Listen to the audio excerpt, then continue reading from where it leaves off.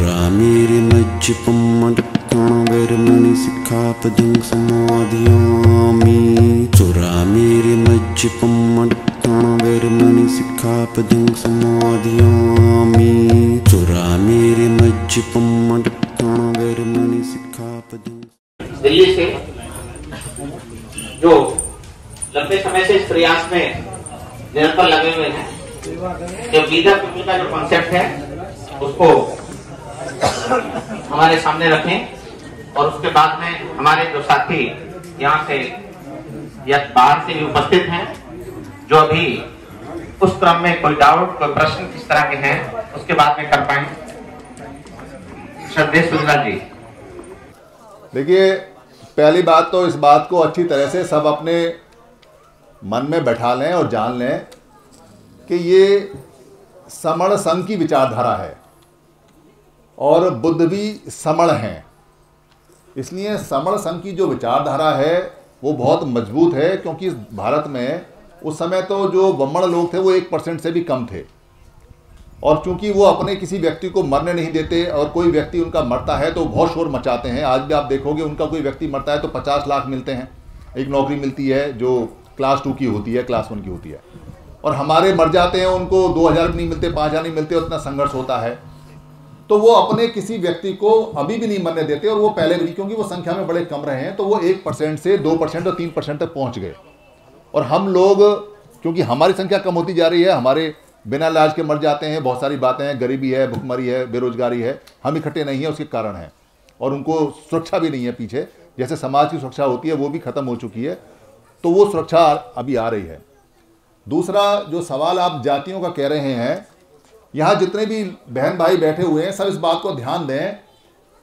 भाई, खत्म तो तब करें जब कुछ हो।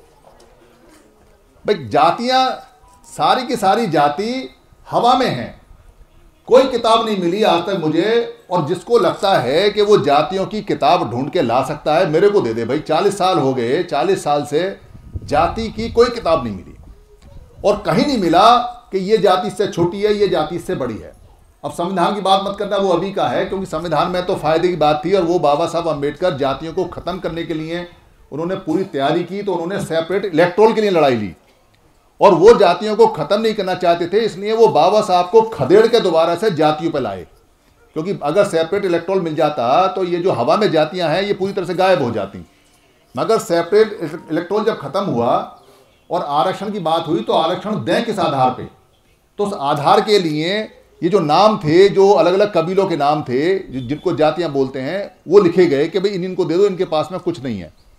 तो उनको वो जातियाँ बोलते हैं। दरअसल बुद्ध के साहित्य में जो जात और जाति शब्द है, उसका मतलब होता है उत्पन्न करना। उत्पन्न, पैदा। जाति दुखा, जरा दुखा, मरण दुखा, व्याधि दुखा, सब पढ़ते हैं। तो जाति दुखा मतलब जन्म लेना दुख है, मरण माने मरना दुख है, व्याधि मतलब बीमारी दुख है, और जरा माने बढ़ापा दुख है। ये दुख उन्होंने बताए हैं। तो कोई भी चीज़ अगर उत्पत्ति होती है, पैदा होती है, उसको कहते हैं तेरी जात क्या है? यानी तेरी उत्पत्ति क्या है? तेरी जाति क्या है? यानी तेरी उत्पत्ति क्या है? किस कबीले की उत्पत्ति है? क्या है? ये वो बताना होता है।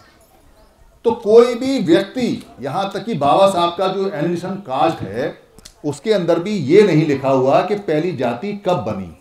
पहली जाति नहीं मिलेगी आपको। जब जाति इतनी ही महत्वपूर्ण थी तो उसका कोई साहित्य तो होता, उसकी कोई चैन तो होती, उसका कोई सिक्वल तो होता, उसकी कोई सीरीज़ तो होती।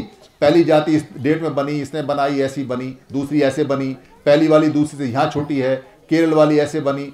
ये तो दरअसल एक ऐसी प्रक्रिया है जो दबाने के लिए सफल रूप से एक बनती चली गई, जैसे अभी क्या है कि दफ्तरों में हम बैठे रहते हैं।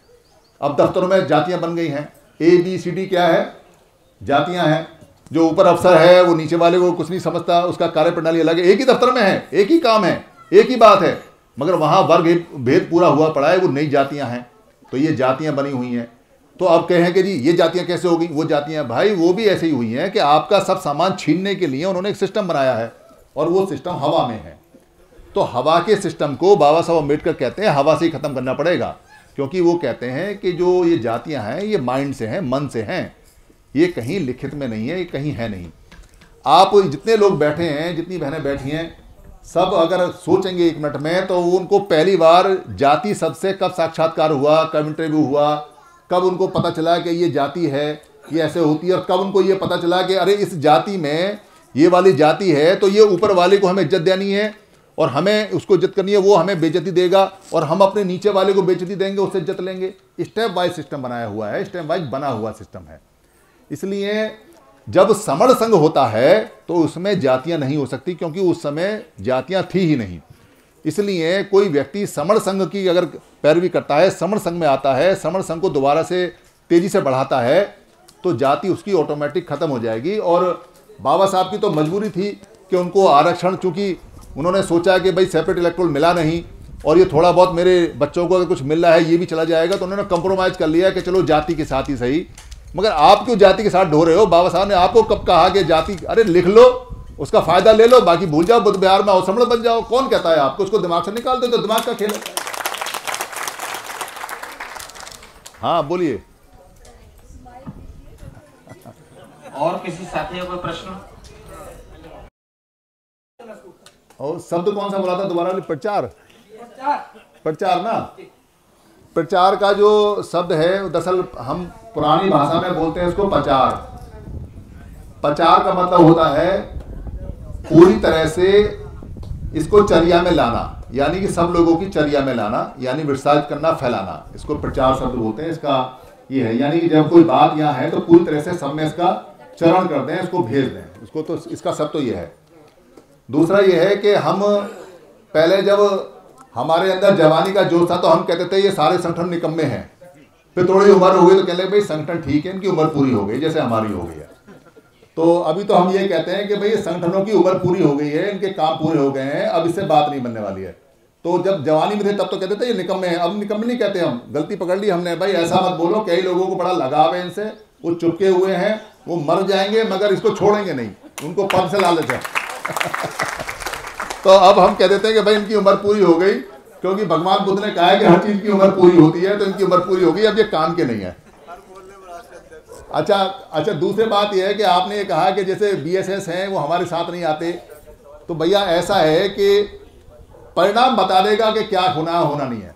क्योंकि हम भी बहुत दिनों से जूते खा रहे हैं, अब तो पानी गले से आ गया अब तो हम मरने वाले हैं दरअसल। हमको दिखाई नहीं दे रहा, मगर हम खत्म हो चुके हैं। हमारे अधिकार जा चुके हैं। अगर आप देखोगे तो 20 साल पहले नौकरी का ग्राफ यूँ था, नौकरी के अलावा है नहीं। अब ग्राफ यहाँ आ गया है। और 10 साल के अंदर वो पेंशन वेंशन वाले मर जाएँगे और फिर ज़ीरो आ जाएगा, मामला खत्म है। तो अब तो अगर, अब अगर नहीं कहेंगे, अपने लोगों से सबसे नहीं कहेंगे कि भाई हम मरने वाले हैं तो कब कहेंगे?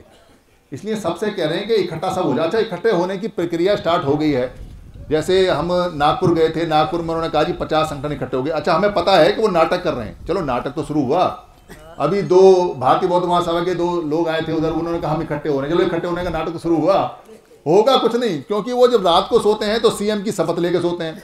और सुबह को उठते हैं तो पीएम की शपथ लेके उठते हैं। तो, तो उन्होंने हमको मरवा रखा है। तो वो दिक्कत आ रही है।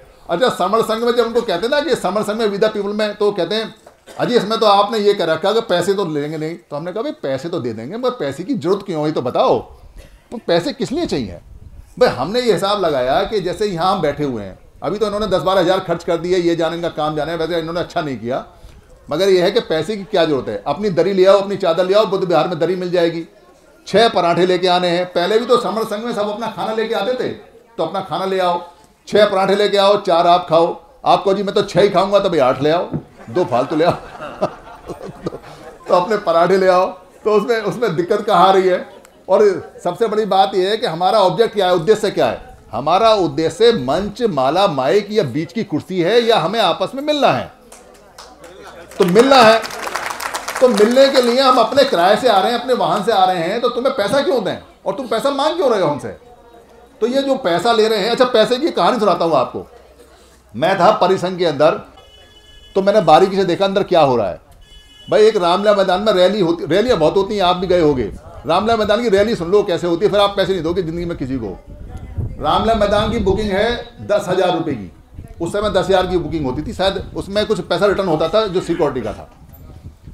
और वहाँ जो टेंट वाले का खर्चा टेंट तो कोई लगवाता नहीं, क्योंकि वो जो रैली करते हैं, वो करते हैं नवंबर में और दिसंबर में।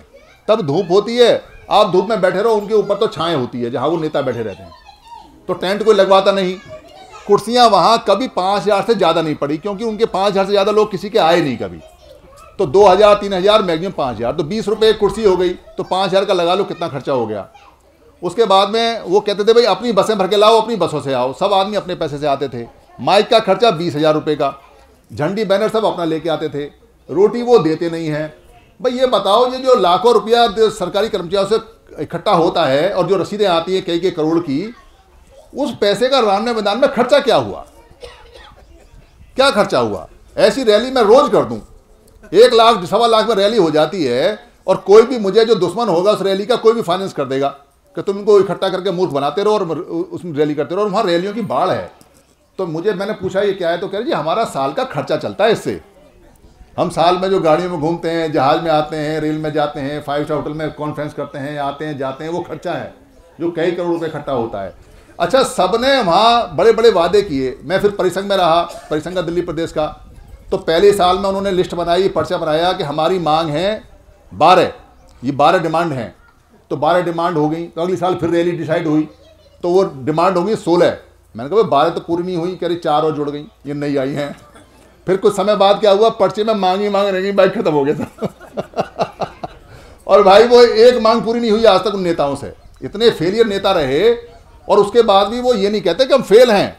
वो कहते, नहीं, अब हम एक काम करते हैं, दस सूत्रे कार्यक्रम बनाएँगे, आठ सूत्रे कार्यक्रम बनाएँगे, अभी हम ये करेंगे, वो करेंगे। अरे भाई, पहला तो तुम पास कर नहीं पाए। तुम अगला कैसे करोगे तो थोड़ा सा हमको समझना चाहिए। वो नहीं समझेंगे, उनका तो काम चलता है। हमको समझना चाहिए कि संघ की आवश्यकता क्यों है, क्योंकि संघ जवाब ले सकता है। हमसे बहुत लोगों ने कहा, आप संगठन बना लो, आप प्रधान बन जाओ, आप जनरल सेक्रेटरी हमारे पास आ जाओ। हमने कहा, भाई, हमारे पास एक राइट है पूछने का।